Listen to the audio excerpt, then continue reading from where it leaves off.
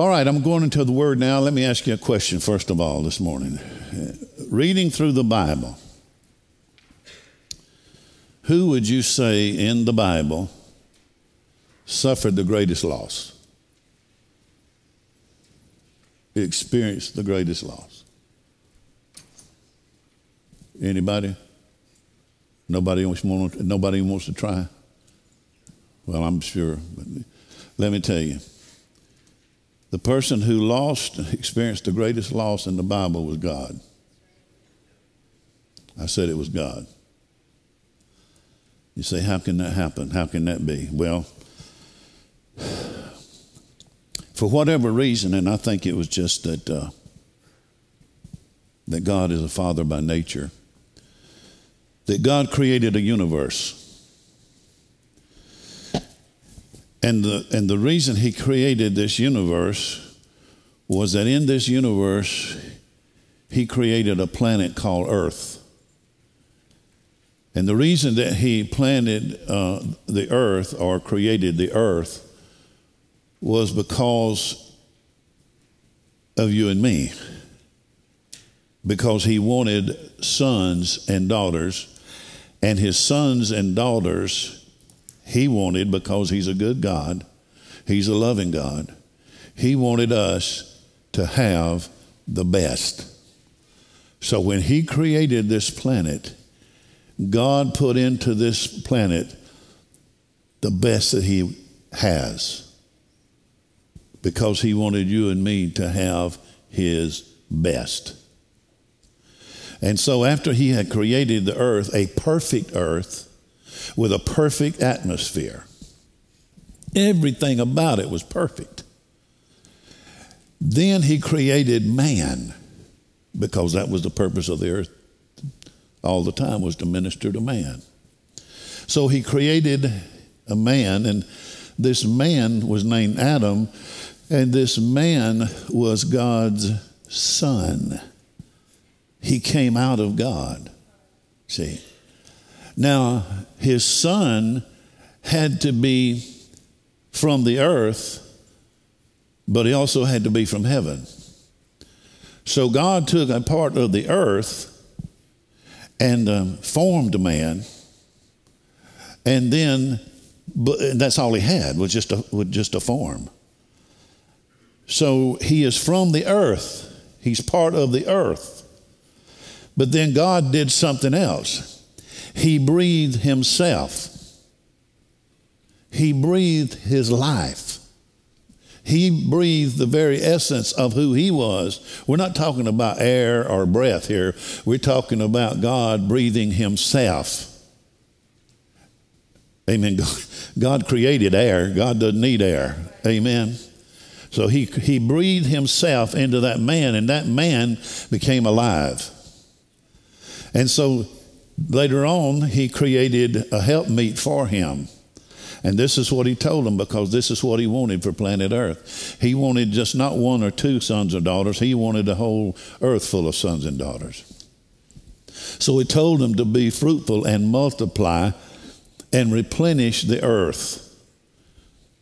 Now he placed him in the earth, and there was a garden there. And he told him, I want you to tend, I want you to, um, to uh, um, guard, guard this garden. Well, it, you know, all the animals were here, and they, you know, they were all at the time vegetarians, you know, and so they, uh, the, somebody had to keep the garden. Isn't that right? I mean, it wouldn't have to be protected if there was not some danger to the garden. So I can just imagine, you know, that the elephant might want to come into the garden and eat some good fruit and food and have a good day. Amen. But this is, this is a different garden than any other garden we can think of today. And so God told us, now this is your garden, and you can, now he was ruler over the whole earth. But he said, This is your garden. I want you to protect this garden. I want you to keep. The word in the Hebrew is, I mean, in the King James is keep. I want you to keep it. Amen. Or guard it. And uh, so, uh, again, apparently there was something that had to be guarded against. And so, one of the first losses that God experienced or the greatest loss. As a matter of fact, let's go to Genesis. Since we're not having service tonight, don't matter if we go a little bit longer, does it? Let's go to Genesis chapter 1. Now, when God created the earth and he created man, in the 26th verse of the first chapter, this is what God did. And God said, Let us make man in our image, after our likeness, likeness and let him have dominion. Everybody say dominion. Over the fish of the sea, the fowl of the air, and over the cattle, and over all the earth. Everybody say all the earth. And over every creeping thing that creepeth upon the earth. So God created man in his own image, and the image of God created he him, male and female. And God blessed them. Notice he blessed them, and God said unto them, Be fruitful and multiply, and replenish the earth and subdue it, and have dominion over the fish of the sea, and over the fowl of the air, and over every living thing that moveth upon the earth. Now, this is what a lot of folks don't understand. Why do we have so much sin in the world? Why doesn't God just come down from heaven and just fix everything and wipe everything, all the evil out? Well, right here is the reason. And uh, the reason is that God created the earth for man to live and to exercise God's will and God's dominion in the earth. In other words, the earth is the Lord's and the fullness thereof, but the oversight of the or the stewardship of the earth was given to man for him to do what God wanted done, for God's will to be fulfilled in the earth. So you got God and you got the God man, Adam, amen, the Son of God, who's got the same life in him that God's got in him, so that he can take care of the earth. It's like God himself was here. Hello out there.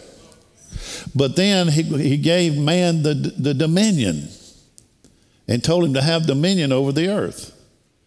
Well, that means, now when we say that, we're not just talking about Adam, we're talking about all humanity. This is what God had purposed from the beginning. We wonder why there's so much sickness and disease. We wonder why. I've heard, oh, Jesus, I've heard preachers, bless their darling hearts and stupid heads, talk about, I don't know why God allowed that to happen. I don't know why God permitted that to happen. I don't know why God allowed those planes to hit you know, the towers in New York. I don't know why God allowed, uh, you know, that man to blow up the, the building and kill all those people in Oklahoma City. I don't know why God allows that to happen. I'll just be honest with you. If that's the way they think about their God, I don't believe I want him. Because the God I serve is not like that. He's a good God. He's a giver. He's not a taker. He gives life, not death. But here's the problem with everything is the dominion of the earth belongs to human beings. Amen. Called just like this. You know what this is right here? This is a dollar bill. That's my dollar bill. I worked for that dollar bill. I didn't just work today for it. I've been working for uh, 40 years for it. Amen. See, my energy, my life, my, my reputation, my, my experience, everything, just, to, you know, everything I am, you know, all these years, see, uh, is in this, in this dollar bill. Uh, see, I don't get paid for what I do, I get paid for what I am. Hello out there, okay? And and because not, and, and you know when I draw a paycheck every week, I'm not just getting a paycheck for what I did that week. You know what I'm saying? Amen. We're talking about 40 years of doing. Amen. But this is my dollar. It's mine. I know it's got George Washington's picture on it, but it's my dollar. Amen. Well, Linda, I would like to give you, with no reservation, uh, no strings attached, I want to give you this dollar. Now, whose dollar is it? Whose, whose dollar is it? Whose? Whose dollar is it? All right. Now, guess what? If I try to take it back, then I'm a liar. and I'm a thief. Amen. See, God cannot lie and God cannot steal. God cannot sin. To see if, if here's the thing. If God ever violates his word, if God ever tries to take back something that he gave, then what he is doing is he is bringing himself down to Satan's level because Satan is the one that comes to kill, steal, and destroy. So, therefore, when God speaks words, God can never, ever go back on his word. So, he just gave the authority of the earth to Adam. Now, that means Adam can do anything with it he wants to. He can take that authority and he can do exactly what God said replenish the earth, watch over the garden, watch over the whole earth. He can do that. Or he can turn around. See, a free, a free moral agency is, is, is, is the most responsible thing you can get into. In other words, when God gave us a will, there's a lot of responsibility that goes along with having a will because that means we get to make decisions good and bad. Therefore, we are responsible for our decisions, good and bad. So it's an awesome thing to have a will given to you by God because, see, you can misuse that and wind up like Adam. Or we can use it like God wanted it to be used and we can glorify God. Amen. So then, of course, you know the story. God puts them in the garden and said, You can have anything in this garden you want, except for one tree, and that's the tree of the knowledge of good and evil. Because all they knew was God. See, they didn't see Adam and Eve, all they knew was God. They didn't know good. They knew God. Amen. They, they, knew, they, they didn't know bad. They just knew God. See? But he said, The day that you eat of the tree of the knowledge of good and evil, in that day you will die. Now, in the Hebrew, this is what it says. The Hebrew Bible, and, and, and, you can, it's in the center column of my Bible, and most every Bible I ever had. But he said the, the Hebrew rendering of that verse says, In the day that you eat of this fruit, dying, thou shalt die. Two deaths. Two deaths. So the day that you eat of this fruit of this tree, what's he talking about? You're going to die spiritually. Spiritual death means when your spirit is cut off from God. Okay? And so that's what happened to Adam. Now, Adam was created, you know, to live forever. Isn't that right? He wasn't created to die. God gave him everything he needed to reproduce, uh, uh, you know, himself in such a way that his body was be under a continuing reproduction stage, and every cell would renew itself, and that man would live forever. But see, when he when he sinned with a sin that no other man could sin with, Amen, because Adam couldn't commit adultery. God gave him a helpmeet. He couldn't steal anything. Everybody, everything belonged to him. He couldn't even covet. Amen. The only thing that he could do, only sin there was for him to commit, was rebellion against God and high treason because when he ate of that fruit of that tree, it was a direct rebellion against heaven. It was a rebellion against God. And in Romans, it says that no man has ever sinned after the similitude of that transgression. The only, any, only person that could ever minute, uh, committed that sin was Adam and Jesus. Adam failed the temptation. Thank God Jesus didn't. He's the last Adam. Amen. All right. So, what did God lose? Well, the first thing he lost when, when in Adam's sin, he lost Adam lost his sonship. The relationship between God and Adam was severed. You know what that means? That means that God became fatherless. His dream, his vision, his desire to have a son, to have sons and daughters, to have a family, all of that was lost in Adam's sin. Everybody say sonship. See, a father is to put everything that's in him, his knowledge, his character, everything that's in him, to pour it into his son. So that his son will know what he knows and be able to do what he does, but yet at the same time take it to a whole new level. Because he, he, he's given his son what he already has, but his sons has giftings of their own. Well, what happened in this, in this uh, loss of sonship, now God's got nobody to pour himself into. What he has poured himself into, Adam has rejected through disobedience. Amen. So let me, in, in Genesis chapter 3 15, I may be getting it, but it's all right. Genesis 3:15. Now, we know the story that they did eat of the of the tree and spiritual death came. Now notice physical death didn't come at that time. See, physical death is a result of spiritual death. See, once he died spiritually and was cut off from God, from that time forward, his, his body began to die. But it was created so perfectly by God that it took him 900 more years before he could die. Did you know Jesus would have never died if he hadn't given up his life? Amen. Okay. But then when, when they had sinned and, and the father lost his son, at the time his only son, and he wanted, why did he put that tree in the middle of the garden?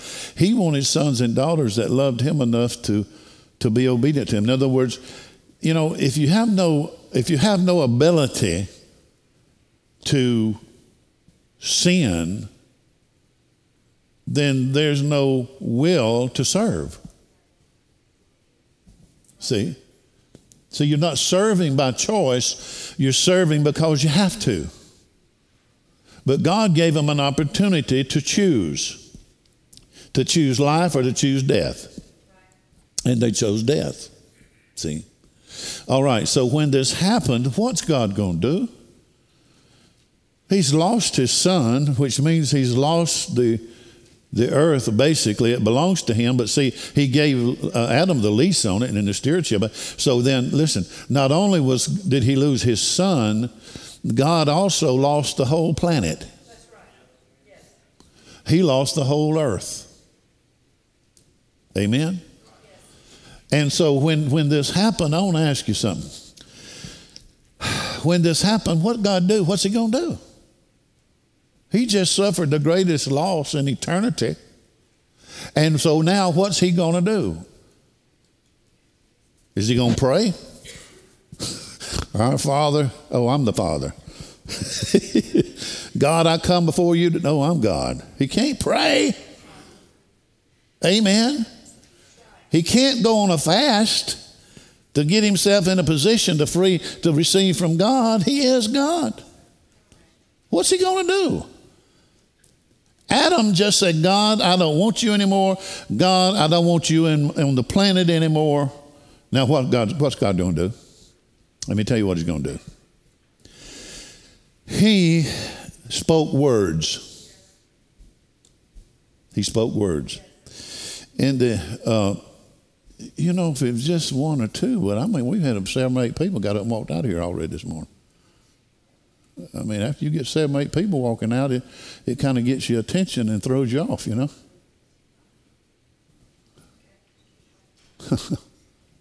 anyway, well, I mean, this it's the truth. It's the Bible. Amen. And so he said, so God said something. That's all he could do was say something. You know why? Because because God knows his words come to pass. now see, here's the thing. God suffered the greatest loss of anybody in the Bible, but God's not a loser. and the reason he's not a loser is not because he never lost anything. He's not a loser because he never said he was. Amen. You're going to be what you say you are. Amen. And so he said, And I will put, he's talking to the, the, uh, the, the, the serpent, and I will put enmity. Did I give you the verse? Verse 15, chapter 3. I will put enmity between thee and the woman, and between thy seed and her seed. It shall bruise thy head, but thou shalt bruise his heel. Now, what's he talking about? He begins to speak words and he begins to say to that serpent and basically to Satan, hey, you're going to be whipped and and and and and your head is going to be be bruised so hard that the one that kicks you is going to bruise his heel. Boom. Amen. Amen. All right. So we see that God begins to speak word because God immediately has a plan. Do you know that God has a plan for anything? You can't get God in a big enough mess. You can't get yourself in a big enough mess that God can't get you out of. And let me tell you this it's never too late. Everybody say it's never too late. Do you know God can take you right where you are right now? Right where you are right now. Amen. And He can fulfill His will in your life. You say, well, what about all those, la- those lost years? Well, that's when you were in disobedience, and God forgives that. When He forgives that, He washes it away so you can start afresh and anew right where you are. Amen. That's awesome. You can't do that, and I can't do that, but God can do that. Amen. So God spoke words. Well, the second thing that God lost in that garden was fellowship. Fellowship is partnership, uh, it's communion. We know that in uh, Genesis 3 4, it talks about, well, no, that, not that verse, but in Genesis, we talked about how that God would come and talk with Adam in the cool of the day. You, you ever need somebody to talk to? You ever wish you had somebody to talk to. Now, I want, I want to show you something about fellowship. We all live in a house. All of us, a mental house. It's a realm or it's a, a, a sphere. Now, let me show you this. Are we doing all right? Okay. How many in here can tell me what this is? Huh? We got duck call. We got what? Spark plug. What else? Huh? Spark plug. Is that what you're saying? Anybody else? Anybody here know what this is? Anybody else? Beth, you know what that is? What is that? That's a loading die. Loading die. For what? For For a pistol cartridge. I, I hadn't looked at it, but I can't. what is that? That's a die. Came out of my shop. Now, why a die? Uh, me, y'all don't know what I'm talking about, do you? We, we guys reload our own ammunition. We like to shoot, right? So when we shoot, we have left a piece of brass. It's a soft metal. So what we do is we take that same brass, which is the most expensive part of the bullet, and we resize it to a die because when you shoot it, it expands because an explosion takes place. And so you have to resize it, and you take these um, dies and you put it in a press, and it resizes the cartridge so that it will work in the rifle or the pistol again, whatever the uh, uh, case may be. Okay? Now, see, the reason none of you knew what this was, except these two guys, is because this is not within your realm of knowledge. It is not in your house. See? Okay. Everybody in here has your own little house of thoughts. You, uh, you all, all have your own little house of knowledge. And all you know, all you know is in that house, is in that realm. You don't know what you don't know. But see, you here, even though you know what you know, you don't know everything. Because there's more knowledge outside of your house than there is in your house. So there's no way that you, no way that I could come up to Linda and say, I, got, I just got a new set of dies. What do you think about it? These, these, are, these are Lyman dies here. These are some of the best you can buy. And Linda says, Hey, let me see that. I've been, I've been looking for these. How much do you give for that? Where'd you get it at? You think she's going to say that? You know why? Because we have this, this does not tie us together. See, we don't have this in common. Okay? But now I go over here and Bev's got his house, and Bev's got some of the same things in his house. I'm talking about our thought life, our thought realm. He has some of the th- same things, and, and so therefore we can fellowship. I can go over here and talk to Eddie, and we can fellowship. Matter of fact, a lot of times after the service, we'll, we'll, we get together and we strike up a conversation about guns and bullets and all that kind of stuff, and we're fellowshipping over this. Amen. I can't do that with everybody. Mm-hmm. Linda can come in. I mean, she, she posted something on, on uh, Facebook one time and used a word I've never heard before, never seen before, still don't know what it meant. And so I just wrote on, the, you remember that? I just put on Facebook, what? right under her post, I just put, What? Amen. Why? Because of her realm. I'm not in her realm. Amen. So what happened was is when when Adam sinned, he stepped out of the realm of thinking that he had with God. He all he knew now was himself. He didn't know God anymore. See, if you know God, you have unlimited information. You have unlimited sources. I mean, God can show you things supernaturally that you never. Now, you know, again, you know there are other things in the world other than what you know. Even when it comes to Jesus, some of you know him and know about him more so than others do. So here's God and here's Adam, and they're having fellowship together because why? They got all things in common because the life that's in God is the same life that's in Adam. So they can hang out together, they can talk, they can fellowship, they can commune, they can do, they can be partners. See, they were partners in this earth thing. Amen. But God lost that fellowship. Now, let me ask you this who's God going to be able to fellowship with? He lost his son. Who's he going to get to hang out with now? He, I mean, you know, uh, he's God, but he, he doesn't have anybody to fellowship with. That's why he created Adam to start with. God has been kicked out of the earth and he stayed out for 4,000 years. Amen. Do you know the Bible says in 2 Corinthians 4 4 that Satan is the God of this world? See, Adam was the God of this world. God was the God of this world through Adam, so Adam was actually the God of this world. He had to be in order to take his authority and give it to Satan and turn it all over to the devil through high treason. Okay? So then when God lost the fellowship, they can't they when when when when Adam died, let me let me show you the saddest to me, the most the saddest verse in the Bible.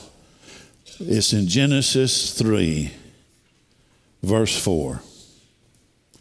Genesis 3, verse 4.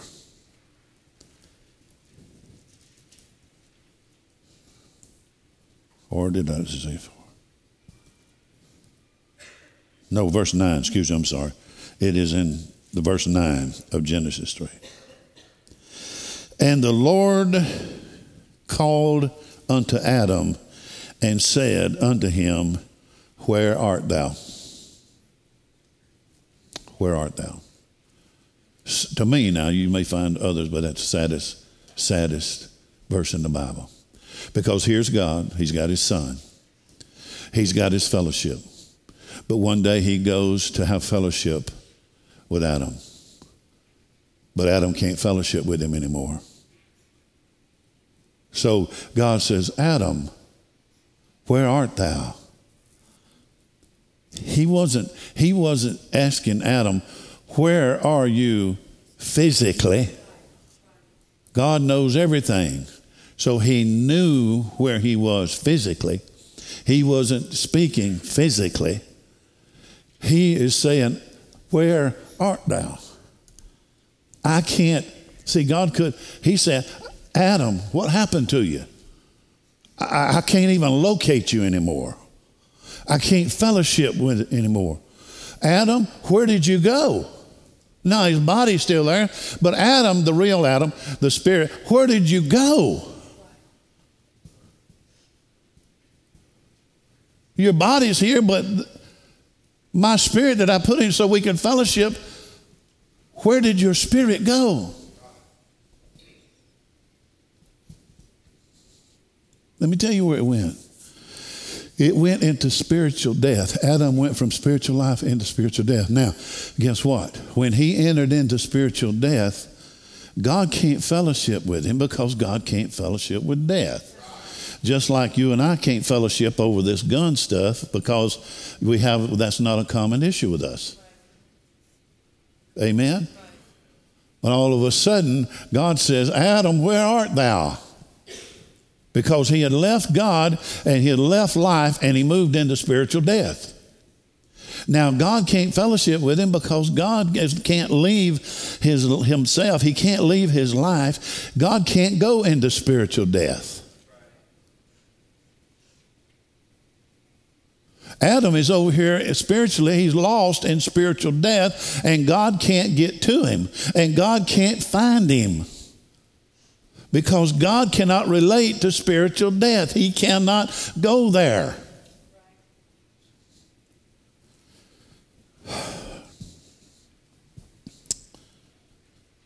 The third thing that Adam lost or that God lost was, was, was authority or dominion. Adam lost his rulership. God lost rulership through Adam. You know, Jesus said, uh, Upon this rock I will build my church, and the gates of hell shall not prevail against it. See, with the church is what Jesus came to build so that God would have a place to live and could fellowship again. As a matter of fact, turn with me to Acts chapter 3, verse 19. We doing okay? In Acts chapter 3, starting in verse 19.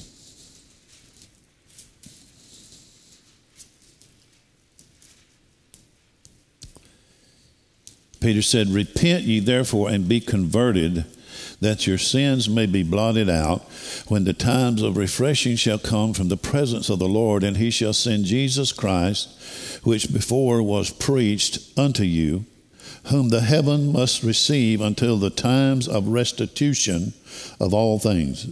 Everybody say restitution. That means restoration, right? Okay. That means to restore something that already was. Amen. That's why the Bible in New Testament, you have to receive, you have to repent. Amen. Uh, you have to restore. Everything is re. Re means again. Re meant it always already was, but now it has to be again. So he said uh, that the times of restitution or restoration of all things which God has spoken by the mouth of his holy prophets since the world began. Since the world began. So, see what he's saying is, and you, I'm not going to read the rest of it, but it's the same thing. It just uh, substantiates what we're saying when you understand what God is purpose from the beginning, and and you, uh, you understand where He started, and then you understand where we're going, okay? And He says that Jesus is in heaven until, everybody say until. Until there's a restitution of all things. The restitution of all things of what? Everything that was lost in the garden. Everything that God lost, He's going to regain it's going to be restored. That's why the word says that there's going to be a new heaven and a new earth wherein dwelleth righteousness. What Adam what Adam, uh, God lost in the first Adam, is going to be restored in the last Adam, who's the Lord Jesus Christ. But there's a process that's taking place right now. You and I are in that process. Why didn't God go ahead and, and, and send Jesus the day after, after Adam's sin? Because God has to work with somebody in the earth. And he could not find anybody to work with until Abraham came along. Abraham came along and he said, Now that's a man right there. I can, I can work with that man. And so he called Abraham, and Abraham obeyed him, and Abraham believed him. Now he's got the head of a whole uh, race of people. Amen. Through which now he can bring the Lord Jesus Christ, but he had to start with somebody. So there was a process that's taken place to ever get Jesus in the earth, and all God had to work with, you see, was human beings. Well, now Jesus is going to come back. We're going to have a new heaven and a new earth. But God, there's a there's a process that's taking place. There's a lot of restitution that's got to take place. Once you understand where we started and you understand where we're going, the Bible begins to be an open book, and you can see and understand all kinds of verses. I used to under, I used to wonder, you know, when he talked about um, the gifts of the Spirit. Amen. He's talking about a day when the gifts of the Spirit would not be necessary anymore. When's that going to be? When the restitution of all things come into manifestation. Now, until that time comes, we've got to have all kind of gifts. We've got to have all kind of graces. We've got to have all kind of anointings. We've got to do all kind of uh, uh, ministry before that day can come. But that day is coming, my beloved brother and sister. Amen. There is going to be a restitution of all things. He's going, God is going to recapture that which was lost. Amen. God is so in the Lord Jesus Christ. Why did Jesus come to the cross? Number one, to restore sonship. God's sonship. What God lost is restored in Jesus. Amen. Behold, you know, he said Peter said, Thou art the Christ, the Son of the living God. Amen. Then he later, remember what he said? He said that he might be the firstborn among many brethren. Amen. So you see, in the cross, why is the cross important? Because in the cross, amen, we have an opportunity to enter back into what Adam lost. We begin, we have an opportunity to be sons of God. I'm going to hurry, okay? The second thing is now, now, now, now. See, what happens is now you and I can fellowship with God because our spirits are not dead anymore. Your spirit and my spirit is not separated from God. When, when you were born again, you know what happened to you? The same God that breathed his life into the first Adam is the same God that when you repented and you were born again, that same God breathed himself, his life into your spirit. And so the same life that's in God Almighty is the same life that was in Jesus. As the Father had life in Himself, He gave to the Son to have life within Himself, that we might have life within ourselves. All the same life. is the life of God. Amen. And so you have on the inside of you the very life of God. And I don't want to digress here, but when God breathed into your spirit and you became a living soul, He had a specific purpose for Adam in this earth. He had a, an assignment for him. Well, I got news for you. When God breathed His life into you, there was also a gifting that came with that life. There was also a, a, an assignment that came with that life. There was also a ministry that came with that life. Are y'all listening to me? Because everything that God is and everything that God was and what God needs in this earth, He has put it in somebody. That's why abortion is such a horrible, horrible thing. If you are killing people, you are killing babies that God had planned and God had purpose for. And because they're dead, amen, they can't fulfill God's plan and purpose for their life. Now they'll get to heaven all right, but they'll miss a reward because somebody killed them before they had an opportunity to even make a decision. Anybody listening to me It's so anyhow. Amen. So God brings us to a place, and His life is. You know what that means? That means now we can fellowship with Him. Why? Because we have the same thing in common. so see, God, we have the realm of we have the realm of God's thinking. You know what that means? That means that we can think outside our religious box. we can go. The Holy Ghost can teach our spirit. Our spirit can take us places that our little realm, our little house that we live in, all we know is what's in here. Amen. But God's got much more out there than's in here. Amen. Hallelujah. And so we can have revelation. We can have, we have, we can have a knowledge of God. We can understand His Word on a whole new level. Amen. Because now we can fellowship with Him. You have a fellowship with Him? You ever just sit down and talk to Him and ask Him something, He'll answer you just like that. Amen. And you're just sitting there talking, just talking, just talking. You need somebody to talk to, right there he is. Amen. You start talking with him, he'll talk right back to you. Amen. Hallelujah. I don't know how many times I'll be talking. You think you're talking to yourself, but I say, Lord, Lord, I, I, you know, when, when, when y'all get old, y'all be, y'all be looking around for, I can't remember where I put it. Amen. Uh, you know, you'll be having those mental eclipses. Uh, those senior moments, you know, and so you better you better know God then, Amen. you better you better have a fellowship, Hallelujah.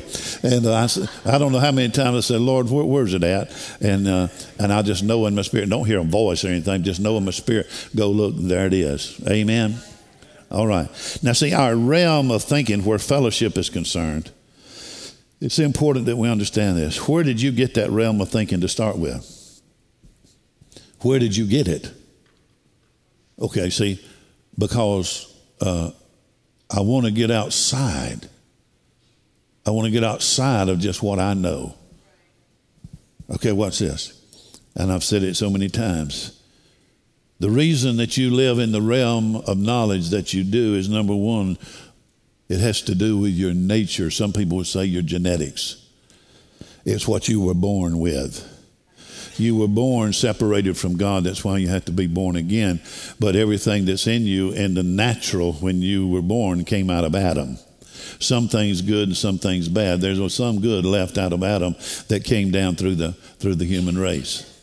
That's why some people are musically inclined. That's why some people look better than others. That's why some people, amen, uh, you know, are smarter than others. I mean, it's just it's just because of the genes they they had when they were born. It's it's it's the nature that they received, and so you you think in terms of and because of your nature, and then your environment. You were born into uh, a different environment and whatever that environment was is going to is going to uh, you know form your thinking. And then your teachers your teachers you had teachers or mentors amen. And so if they mentored you right then you'll be right. But if they mentored you wrong then you're wrong. And then there's all everybody's experiences. You experience different things. We all have. And it forms our thinking. And the last thing is our relationships. Those five things then create. See they create the house that you live. It creates your thought life. It creates and, and, and it determines your decisions. It determines how you feel, your emotions. So if I'm going to get outside, because see, then I'm going to have, have to have a change of nature.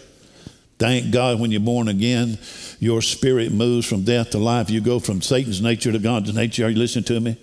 And then you will have to, a lot of times, on purpose, change your environment. You can't run, you can't get where you're going hanging out with people that are not going there. I don't care if they're. I don't even care if they're good people. They, if they're not going where you're going, if they're not adding anything to you, and you're not adding anything to them, Amen. Then, then, then, then you need to change environments. Teachers, you need to be very careful who's teaching you. Are they teaching you in line with the Word of God? Are they teaching you in line with your bent? Amen the, uh, your experiences. What kind of experiences have you had? Because it'll form your thinking, and those experiences have to be dealt with by the Holy Ghost so that your mind can be renewed. And then there's those relationships. You can get hurt, you can get wounded, you can get in a place of distrust. Amen. Because of relationships that you had. Let me tell you something about trust. God trusted Adam. He entrusted Adam with the whole earth and he failed him.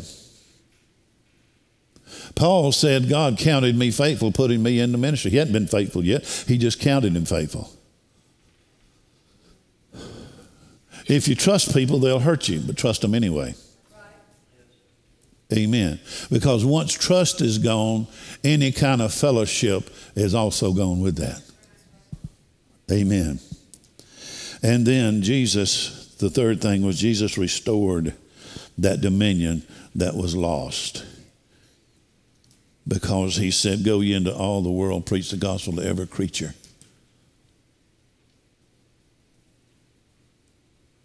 He made disciples and said, Go teach all nations, go disciple all nations. I give you authority.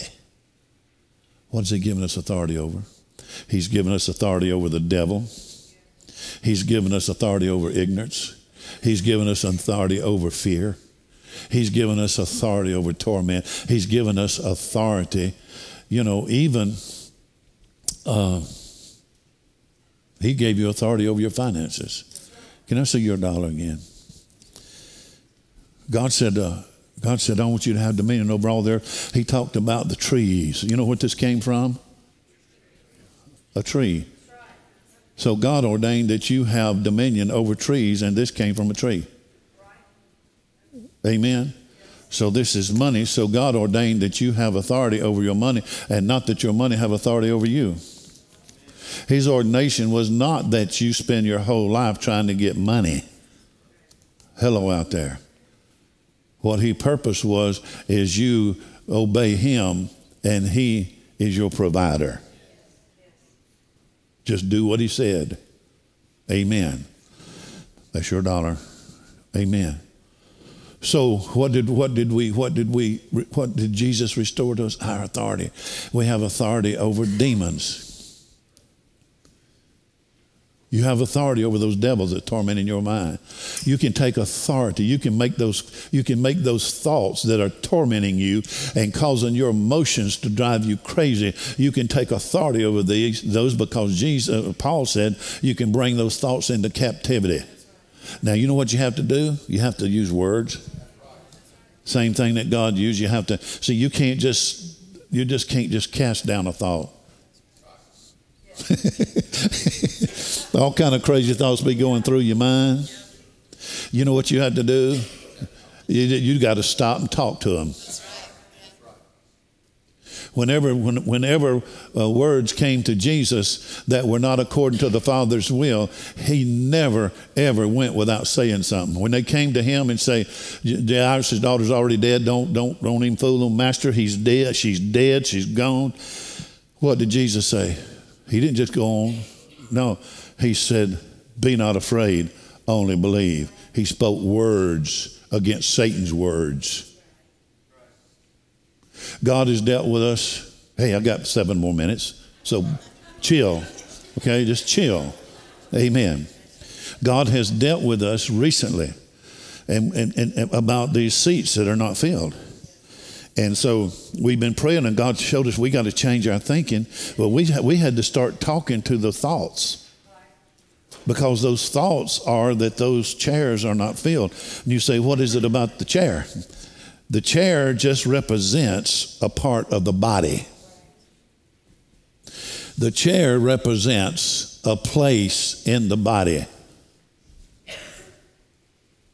See, we've been talking, well, this chair is not empty anymore.